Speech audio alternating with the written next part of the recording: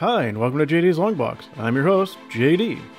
In 1993, in the wake of the Death of Superman storyline, one possible replacement was revealed as Superboy, the Metropolis Kid. I was a big fan of this character since this was the storyline that really got me into comics, so when I heard that DC was doing a reboot, I rushed out to pick it up.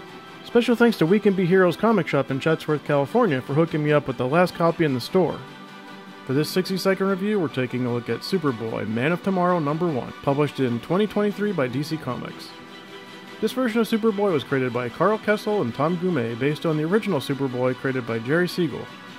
The writer was Kenny Porter, and the art was by Jahnoy Lindsey. As a part of DC Comics' soft reboot called Dawn of DC, the publisher is relaunching a number of their titles as a jumping on point for new readers, and more importantly as a course correction aimed at drawing back longtime fans that they have lost after years of meandering, confusing, and often divisive storylines. For this comic, they're bringing back the 90s era Superboy, aka Connor Kent, who is a half human, half Kryptonian clone that was made as a replacement for the original Superman during the Reign of the Superman storyline. After being shunted off to alternate futures and parallel universes, the story doesn't dwell too long on the fact that this Superboy has found himself in a rebooted universe where he never existed before. Instead, Superboy determines, and I agree, that there are too many supers flying around this Earth. So Superboy sets off for outer space. There he faces a Dominator scientist who has unleashed an army of cloned metahumans on an innocent planet. Superboy steps in to fight them off, but he may have captured the attention of the Dominator who would want to add Superboy's Kryptonian DNA to his clone army. I'm really glad that the art style is simpatico with the art from the new Superman relaunch. It really helps them feel like they're all in the same world.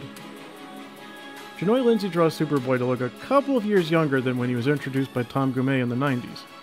While that Superboy came across very cocky, Lindsey's iteration comes off self conscious and more prone to mistakes. This may be a byproduct of Lindsey's strong manga influence, which really comes to light in the fight scenes. While vibrant, the colors often go too dark though, and the characters end up losing separation from the backgrounds. The writing gets an 8, the colors gets an 8.5, the inks gets an 8, and the pencils gets an 8.5. This adds up to an 83%. This looks to be setting up a great road trip adventure, and I'm sure Superboy will learn some valuable lessons along the way. I hope you liked this 60 second review. If you want to see more of the Dawn of DC, check out my review of the new Superman number 1. And if you want to get a look at the first appearance of the 90s era Superboy, then check out my review of Adventures of Superman number 501. I'm JD, and until next time, this box is closed.